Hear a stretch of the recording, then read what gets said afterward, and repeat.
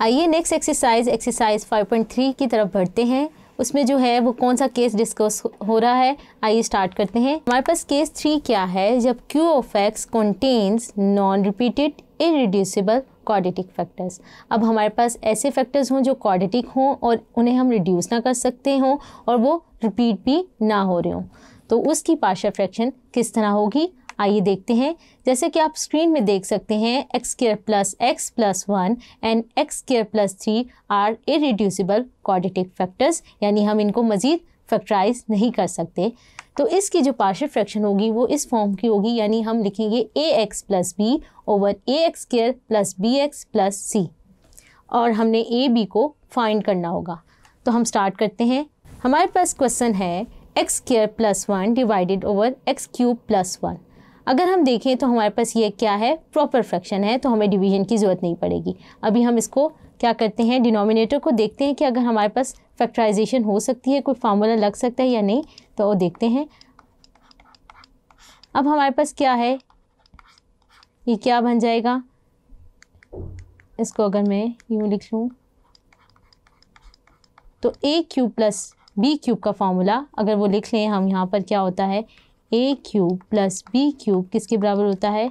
A plus b a square minus a b plus b square तो अगर हम इसको ओपन कर लें तो हमारे पास क्या आ जाएगा? X plus one x square minus x plus one तो हमने क्या किया? A cube plus b cube का फार्मूला लगा लिया। अब हम इसको रिजॉल्व कर लेते हैं पार्शल फ्रैक्शन में।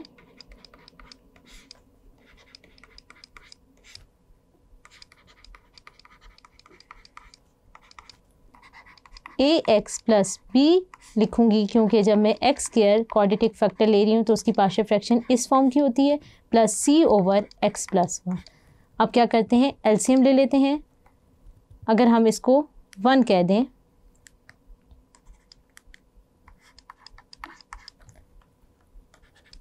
एलसीएम लेने के बाद हमारे पास क्या हो जाएगा? उसको लिख लेते हैं।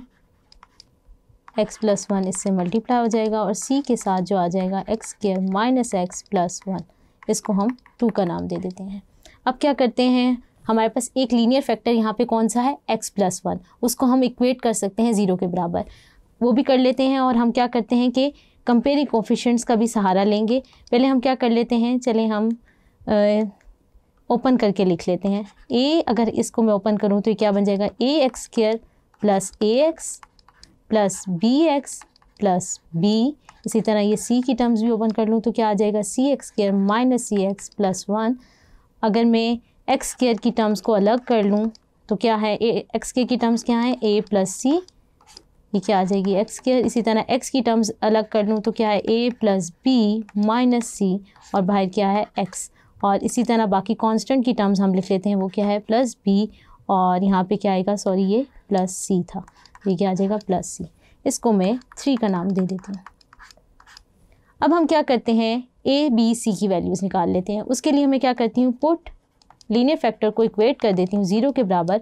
यहाँ से क्या आ जाएगा? एक्स क्या आ जाएगा? माइनस वन तो वो क्या आ जाएगा? अगर मैं माइनस वन डाल लूँ तो मेरे पास क्या होगा? माइनस वन से मेरे पास कौन सी टर्म बचेगी? सी वाली टर्म बचेगी।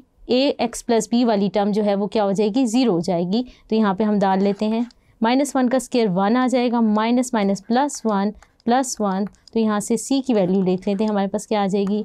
Three c is equal to two और सी क्या आ जाएगा? टू बाय थ्री अभी हमने सी की वैल्यू निकाल ली है। अभी हम क्या करेंगे? ए और बी की वैल्यू निकालेंगे। उसके लिए हम क्या कर लेते हैं? लिख लेते हैं। Comparing coefficient of x square यहाँ पे हम लिख लेते हैं। Comparing coefficient of x square तो अगर हम एक्स केयर के कोफिशेंट कंपेयर करें तो हमारे पास लेफ़्ट साइड पे एक्स केयर का क्या कोफिशेंट है? वन है। उसको हम लिख लेते हैं। और दूसरी साइड पे हमारे पास क्या है? ए प्लस सी और हमने सी की वैल्यू भी निकाल है तो ए हमारे पास क्या आ जाएगा? अगर हम सी की वैल्यू यहाँ डाल दें तो क्या आएगा? A plus two by three तो ए वहाँ जाके क्या होगा? A equal to one minus two by three और ये क्या आ जाएगा? थ्री माइनस टू एल्सियम लेंगे तो क्या आ जाएगा? ए आ जाएगा वन बाय थ्री हमने ए और सी की वैल्यू निकाल ली। अभी हमने क्या करना है? बी की वैल्यू निकालनी है। तो अगर हम क्या करें? कांस्टेंट के कोफिशेंट्स कंपेयर कर लें। कंपेयरिंग लिख लेते हैं उसको। कोफिशेंट ऑफ़ कांस्टेंट कांस्टेंट क्या है? बी प्लस सी और लेफ़्ट साइड पे क्या पड़ा हुआ है? वन तो यहाँ से सी की वैल्यू डाल दें। तो सी की वैल्यू क्या आ जाएगी? वन माइनस सी और वन माइनस सी क्या आएगा? One minus two by three और यहाँ से बी की वैल्यू भी क्या आ जाएगी?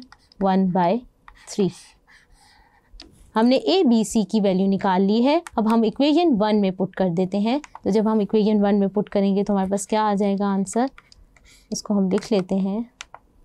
X plus one. ए क्या था हमारे पास? One by three. X plus b क्या है? One by three. ओवर क्या है?